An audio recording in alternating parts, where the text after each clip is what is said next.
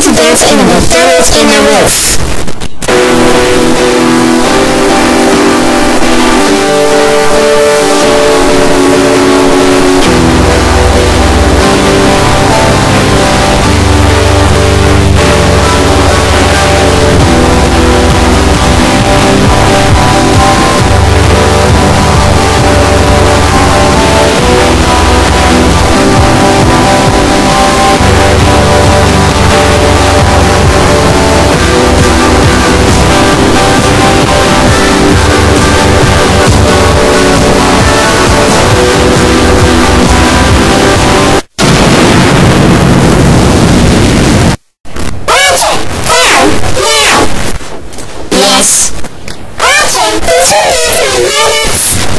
Um, yes, Rick.